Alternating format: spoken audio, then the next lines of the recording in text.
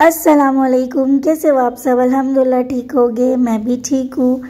तो चलो चिकन पुलाव बनाते हैं एंड ये बहुत टेस्टी बना था।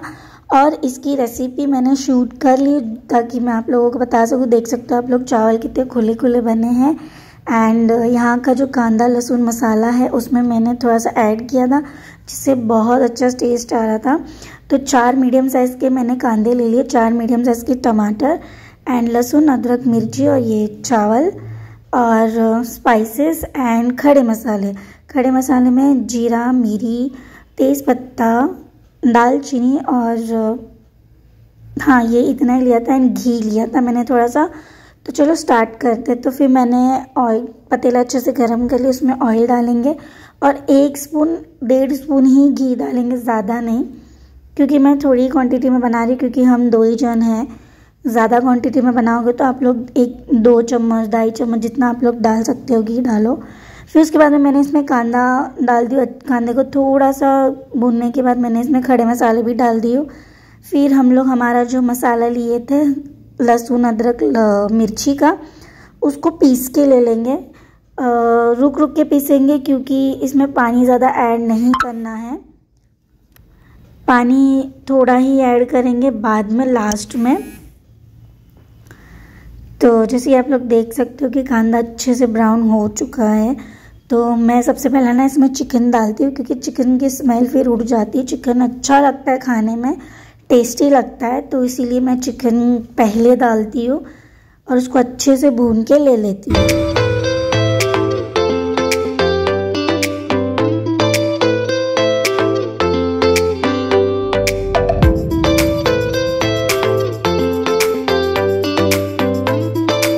तो जैसे कि आप लोग देख सकते हो चिकन को मैंने अच्छे से भून ली इसमें हम लोग अभी टमाटर ऐड करेंगे। ताकि जो टमाटर का जूस है, उसमें भी चिकन अच्छे से भून लेंगे।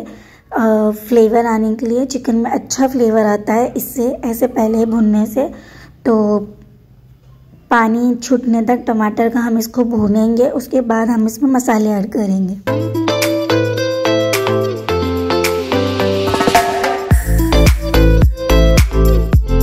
लोग देख सकते हो कि मैंने टमाटर में अच्छे से चिकन को भून लिया। उसके बाद में इसमें जो लहसुन, अदरक, मिर्ची का मैंने पेस्ट बनाई थी, उसको डाल देंगे। फिर इसको अच्छे से भून लेंगे।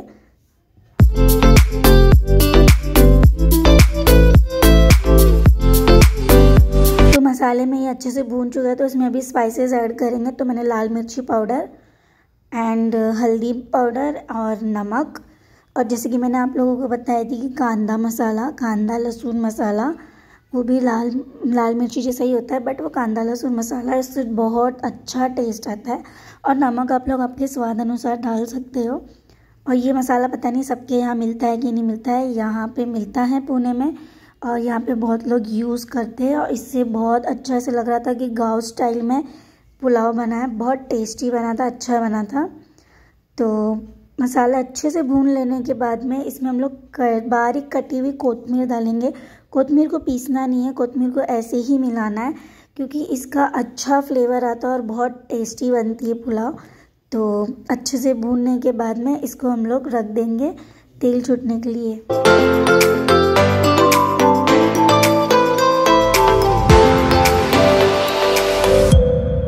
सकते हो कि अच्छा से तेल छूट चुका है।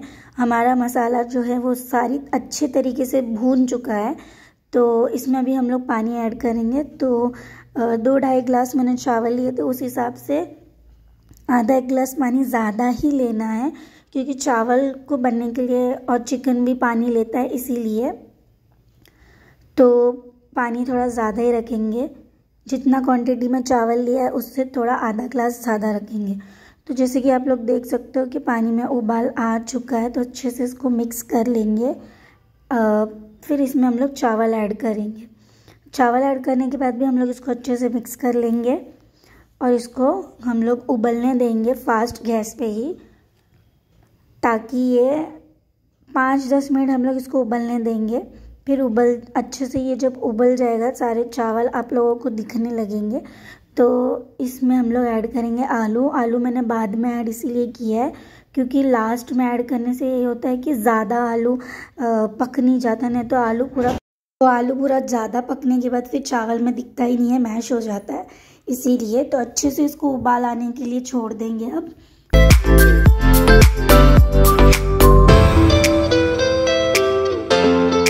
तो आप लोग देख सकते हो कि अच्छे से उबालने के बाद में अभी आप लोगों को चावल दिखते होंगे एंड पानी थोड़ा कम हो गया है।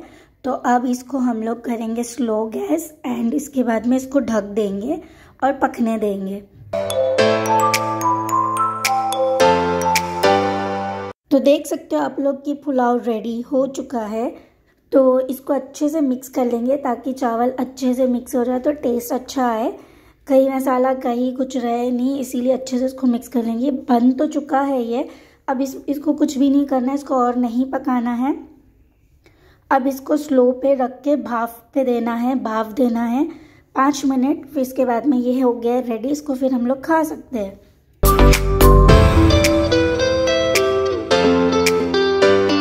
तो जैसे कि मैंने आप लोगों को बोली थी कि भाप पे रखेंगे तो अब हो चुका है, इसको बंद कर देंगे। और इसको खोलेंगे नहीं, तुरंत दस मिनट के बाद ही इसको खोलेंगे ताकि ये भाप से अच्छे से बन जाए। तो रेडी टू ईट हमारा पुलाव जो है वो बन चुका है। देख सकते हो आप लोग, चावल कितने खुले खुले बने और ये बहुत टेस्टी बना था अच्छा बना था। तो मैंने सर्व कर ली हूँ एंड इसको थोड़ा सा डेकोरेट कर दिया। मैंने कांदा, नींबू एंड हरी मिर्ची से। बहुत लोग मिर्ची खाते हैं। मैंने तो ऐसी डेकोरेट के लिए रख दी थी। मैं नहीं खा सकती हूँ। हरी मिर्ची इतनी तीखी है। बट ये पुलाव बहुत अच्छा बना था टेस्टी बना था। तो मैंने और मेरे हस्बैंड ने मिलकर साथ में लंच किया।